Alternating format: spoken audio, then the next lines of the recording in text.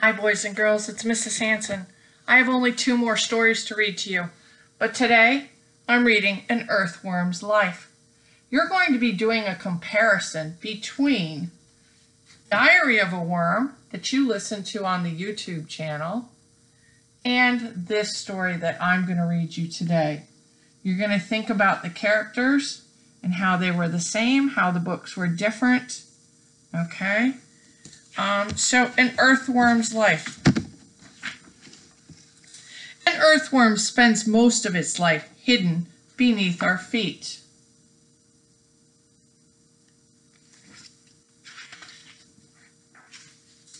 In spring, an adult earthworm leaves its egg case in an underground burrow.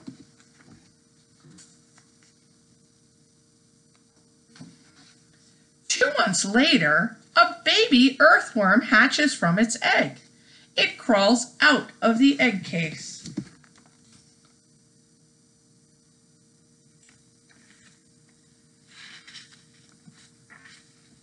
The young earthworm tunnels through the soil. At night, it feeds on dead leaves.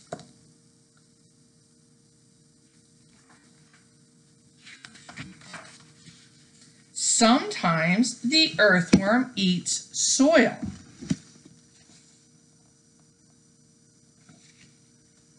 The soil goes through the earthworm's body. It comes out as a pile of round balls called castings.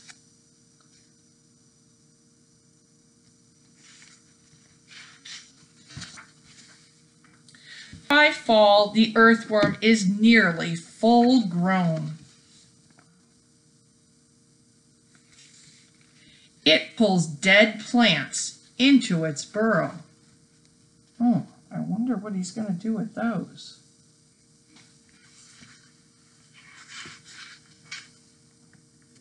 The earthworm eats the plants till winter. Then it is time to sleep. That sleeping in the winter has a name. I hope some of you remember that. It's called hibernation. Spring rains bring the earthworm back to the surface.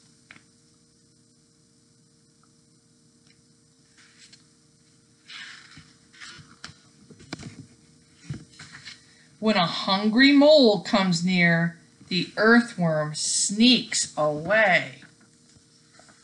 He doesn't want to become mole food. The earthworm begins to look for a mate.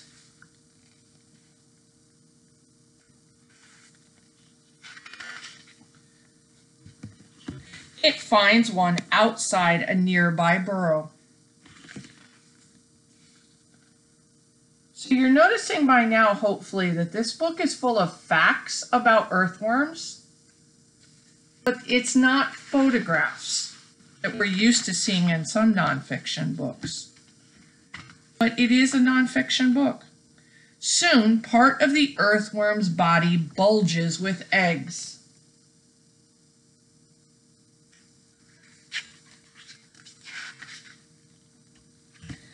The ring full of eggs comes loose. The earthworm slips out of it. It just slides right off the front of him. The ring becomes an egg case. The earthworm leaves it behind. We remember those egg cases from earlier.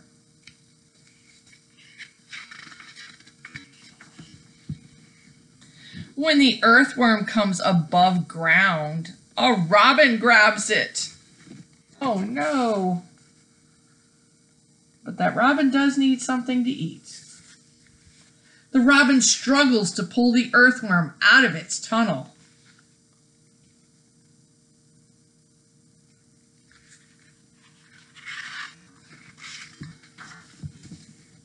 But the earthworm is strong. The robin gives up. Oh, thank goodness he lives for another day. One summer night, heavy rains fall from the sky.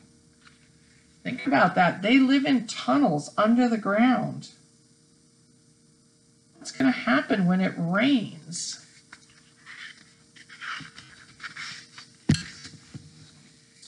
By morning, the earthworm's burrow is filled with water.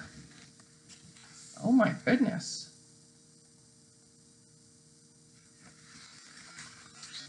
It searches for a drier place to live, but it gets stranded on a basketball court.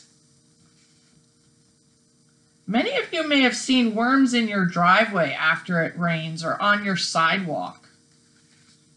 They come up looking for a drier place to be. A young boy picks up the earthworm. He puts it in a garden. That's a very kind young man. Saving the earthworm, putting him back in the garden where he should be. That's what we would call an act of kindness.